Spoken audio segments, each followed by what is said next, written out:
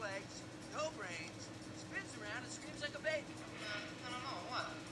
You guys!